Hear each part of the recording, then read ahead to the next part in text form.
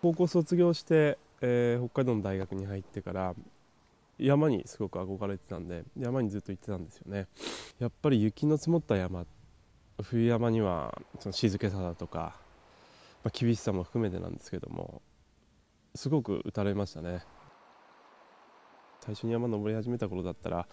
11月の下旬ぐらいにもうスキーをの裏にシールっていう滑り止めをつけて山に行って、えー滑るようなことをしてたんですよね。それが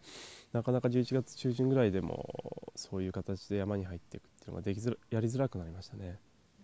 っていうのは積雪量少なくてあのまだ小さい木だとかっていうのが出てる状態、まあ、凍てついた感じっていうのはなかなかつかみづらくなってきてくるだろうし冬の撮影とかをがうまくできる期間が少なくなるっていうのはあるかもしれないですね。一世代あるいは二世代前ぐらいの人の話よくこう流氷が前山に寄ってきてそれが勢力が強いんでこうどんどんどんどんこう折り重なるような形で流氷の山ができてたっていう話を聞くんですけども、うん、あんまりそう迫力のある流氷っていうのはなかなかあの捉えられないですね。接岸は全くしない年っていうのは少ないんですけどもあのしても長くこうとどまってる期間が少ないだとかその暑さが薄いだとか。本当は流氷がのがっちり来てる時っていうのは海ってすごく静かなんですあの流氷氷が波を抑えてすごく静かで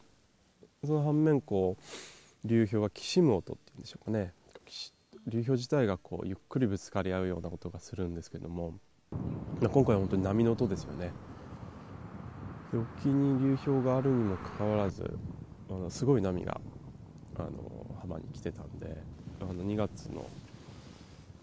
中旬でこんな感じっていうのはちょっとびっくりしました。北海道に住んで野生動物の撮影とかしてると、まあ、同じ場所にいて同じ冬をこう越えてるなっていう感じがしてくるんですよねだんだん、まあ、気候のことで言えばサイクルをなるべく見出さないっていうんでしょうね。周りのものを変えすぎないっていうのは